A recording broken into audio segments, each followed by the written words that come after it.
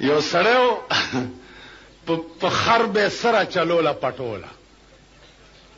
نو ملغلره بیا مونته چې ملغلره بیا مونته نو ولکی وینځله ناته اولی ته وغورځیدو لاړو بو یو دی اوس سرسام شو او وی چې پاکه نه پلیته خوا پاکه نه پلیته خوا که زه خبر وې چې دا به اوبه رانوړي ما به هډو وینځلی نه وی کور ته راغی مور بچیا څه چل دی وی مور پاکه نه پلیته خوا پاکه نه پلیته مور ولا ډاکټر راوست چې د الګ باندې څه چل دی ډاکټر والا علاج ملاج څه وکړو دا خبره یې تېنه هېره کړه، چې هېره یې کړه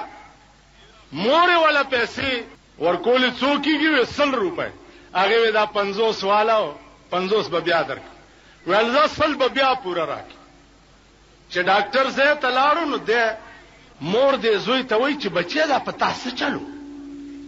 ویل ولې وی تا چې وی چې پاکې نه پلی ته خوا بیا ور یاد شو چې بیا ور یاد شو الګ بیا چغې کړې چې پاکې نه پلی ته خوا پاکې نه پلی ته مورم سرسام شو ویل تپوس نه نه تپوس خو تپوس نه نه تپوس خو ډاکټر پسې سړی راغی چې راشه مریضان خو یو نه دوه شو ډاکټر چې راغی چې وی کته چې دا خو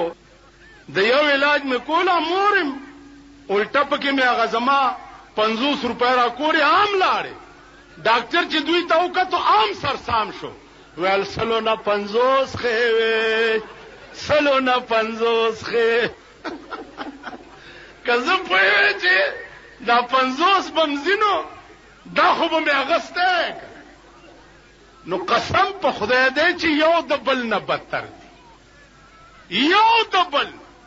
چې یو زی او بل راځي ا د کپن او د موګي والا کیسه ده مونږ دا تیر ارمان کو